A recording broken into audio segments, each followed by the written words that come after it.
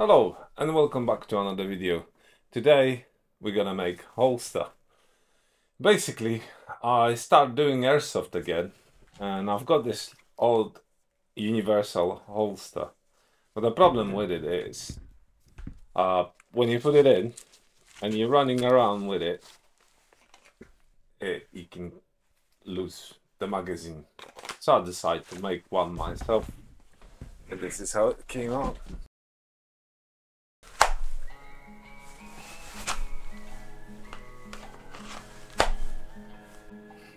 I made few holsters before. This one is quite minimalistic, but I love this style. There will be few video after this one. I'll make couple pouches and a few utility belt accessories. For this project you need tan leather. I use 3.5mm thick. Find a middle in the page. I use A3 page for this one and I place the belt which I want to use for it.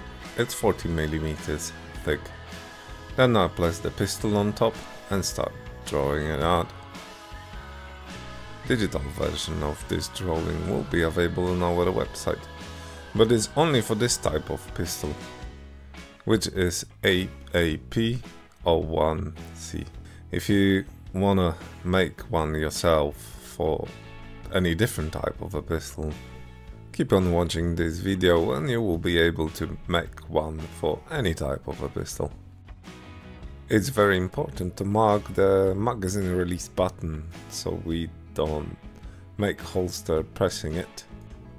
I always grab the strap from same leather as I'm gonna use for the project uh, and I show you how to do all the measurements.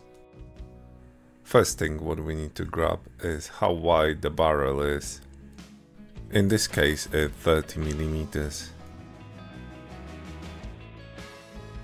So we need to divide it in a half and then measure and make a mark on top of the pistol.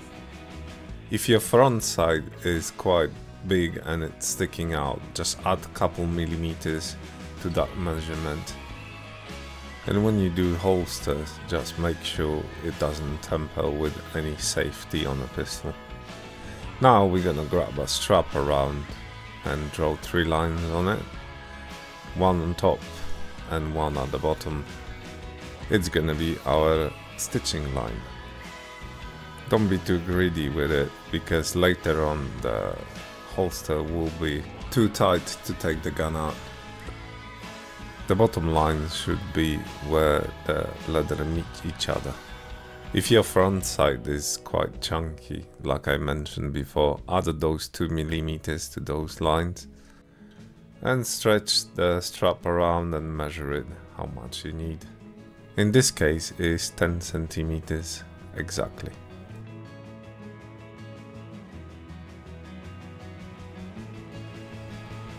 If you lay it down on a drawing, you can see where the stitching line should be. Second measurement we're gonna grab is the width of a barrel. It's gonna be where our stitching line is gonna finish. Then measure it with a ruler, same as previously, and note it down below.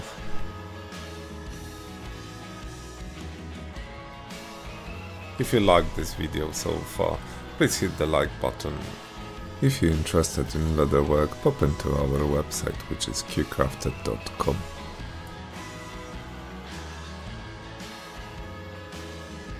For the stitching line I like to be precise because that's the most important measurement in here. That's why I use that compass tool to measure where the stitching line should be exactly.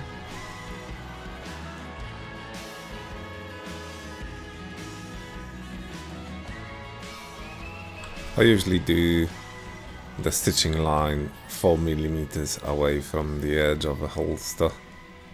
So I measured that with compass tool as well. And now it's time to draw the shape. On one side we need to look at that button. On the other side it will be slightly different.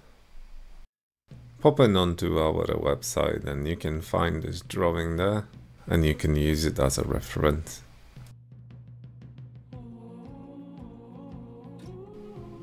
It's time to fit the loop. So what I do, I measure the wideness of a strap. Remember, don't go too far with the loop because there is a bend there, so the holster bends around the pistol. So don't go out further than the pistol itself. The loop I'm making is slightly on the angle because I like to carry the gun on the angle for the easier pull. When we're gonna do loop itself, we're not gonna place stitching line in the same place. We're gonna wet shape form it onto the belt so it's nice and tight. The difference will be around 2-3 millimeters on each side so about 5 in total. This holster is made for right-handed. If you want a left hand carry, you need to place the loop on the other side. Before you start cutting out, make a copy of it and you work on a copy. So if you do any mistakes, you can correct it on the original drawing.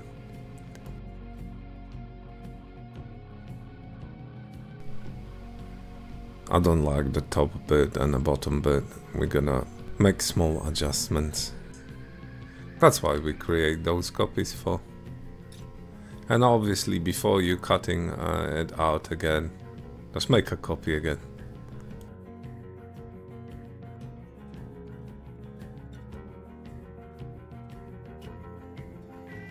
So we will add a little bit on top and we take out a little bit on the bottom so it's not the, the, the shape when it's bent is nice and rounded.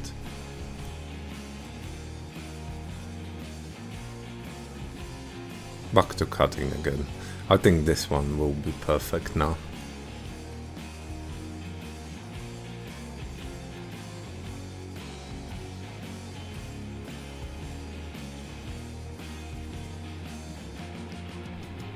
Yep, now I'm all happy with the results.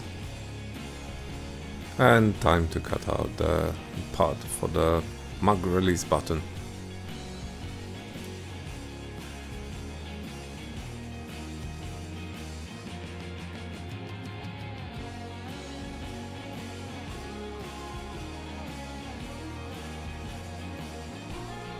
Last bit we need to transfer the stitching line onto the other side as well.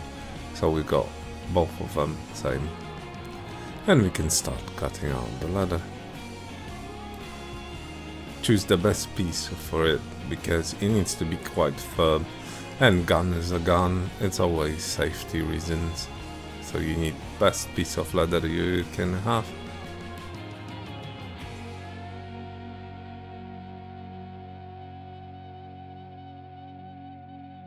I mentioned before, if you want a right hand carry is that loop needs to be on this side and if you want a left hand carry you need to transfer it to the other side.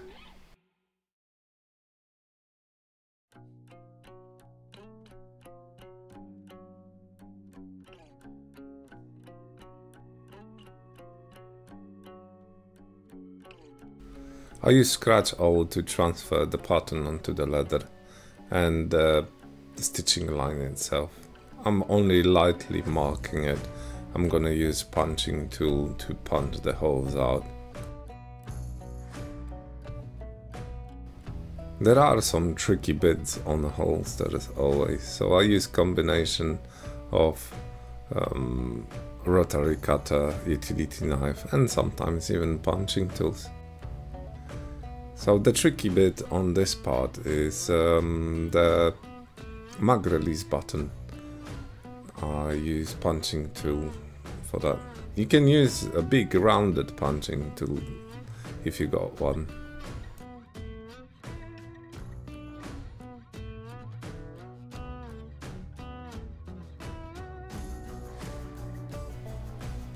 when you're cutting thick leather with the knives, you might not be always doing the right angles.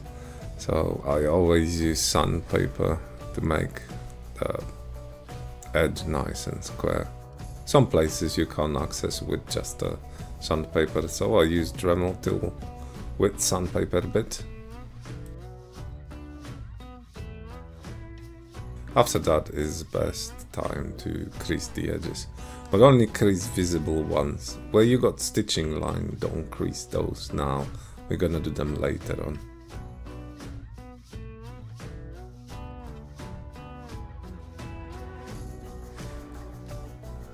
Let's clean up all the mess and start punching the holes out. Sometimes it's good to use a compass tool to check the how far is the stitching line from the edge.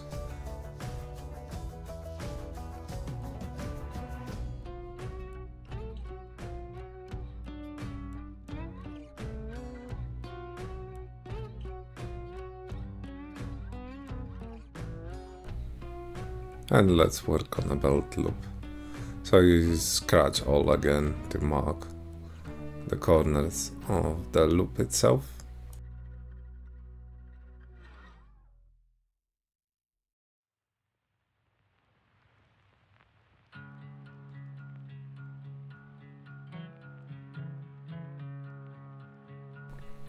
It fits like a glove. But uh, now that stitching line, we're moving it a little bit inwards for the holster?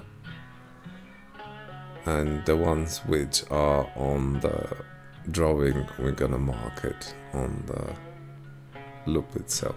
So when you stitch it in it bulks out a little bit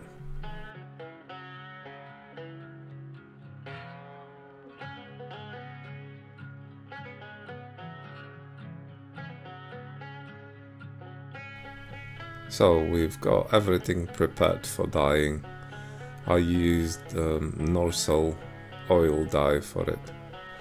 I'm just gonna quickly show you how I did it, how I dye it. There is no point of showing you whole procedure. I made two thick layers on it because sometimes when you wet shaping the dyed leather it's gonna lose a little bit of a color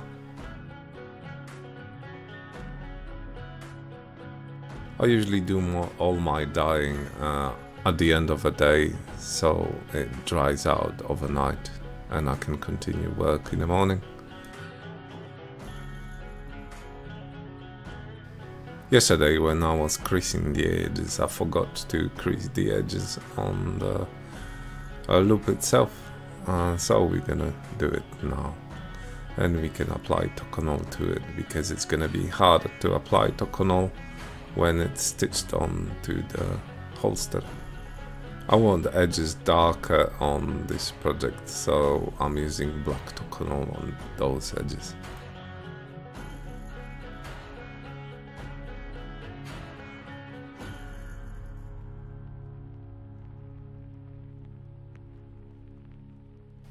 Use the saddle stitch technique to stitch it all up. What's your favorite part in making your leather goods? I think my favorite part is uh, the design process. I love designing new stuff.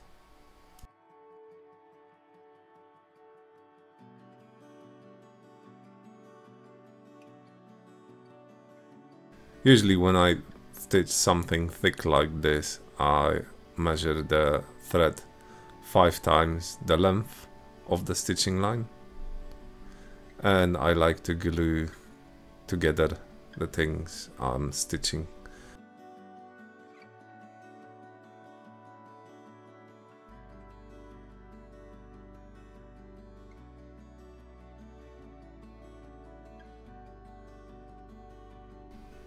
There is not much stitching on this one. After after stitching, I like to clean all the edges again with the sandpaper. And it's time to give the holster its shape. I use quite warm water and I leave it in the water for about 2 minutes.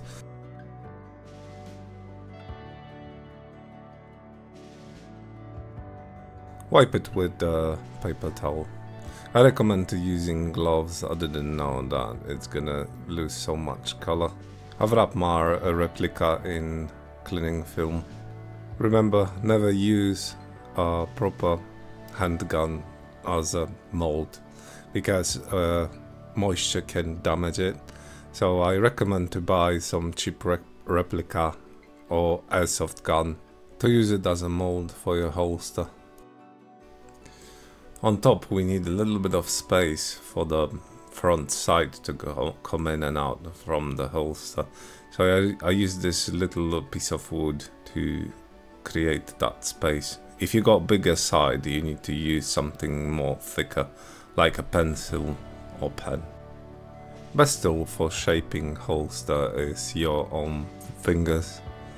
Just make sure you got your nails clipped before you do that and then you can use a little bit of a bone creaser or that little wooden edge slicker.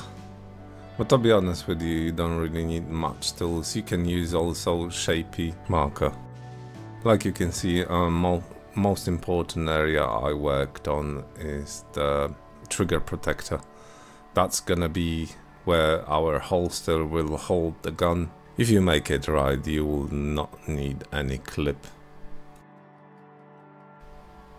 If this video will be popular, I'm gonna make a couple more um, videos how to make different type of holsters. Wet shaping is quite a long process, you need to do it a couple times. When you take it out from a water, you do your initial shaping. Then you're waiting for the holster to dry out a little bit and then you make another one. And if you want to correct something at this stage, you can always make the area a bit more wet and shape it again. After a couple hours, the holster being on a, my replica, I use heat gun to take the moisture out. And when you use heat gun, it also hardens the leather, so the holster is quite firm. You can also use hair dryer. Last time I've been airsofting, I actually lost my magazine because of that rubbish holster I had. The new one just came in post. Right, the holster is completely dry. Now it's time to feed it and water treat it. So we first use neat's oil. I use cotton rag to apply it. Apply neat's oil only on the outside. After applying this I like to use a brush to polish it and get rid of any dirt. Time to waterproof it. I use Fiebing's leather sheen on it.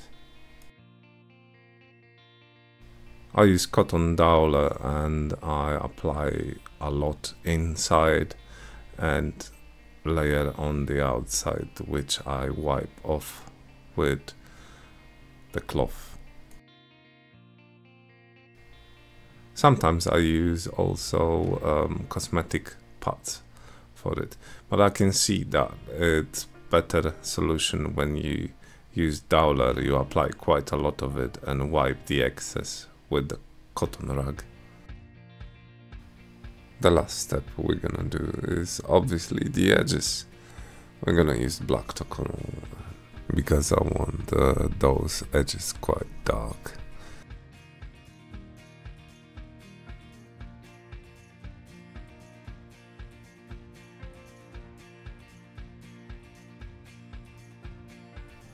We're getting closer to an end of this video and uh, we nearly got the product ready. Please let me know in the comments uh, what you think about it. There is one more thing you can do. If your holster is quite tight still, you might use some leather feed or leather cream in the places where um, the leather has contact with the gun. That will allow to pull out the gun easier for a little while and then if you use it often it will mold itself onto the gun perfectly.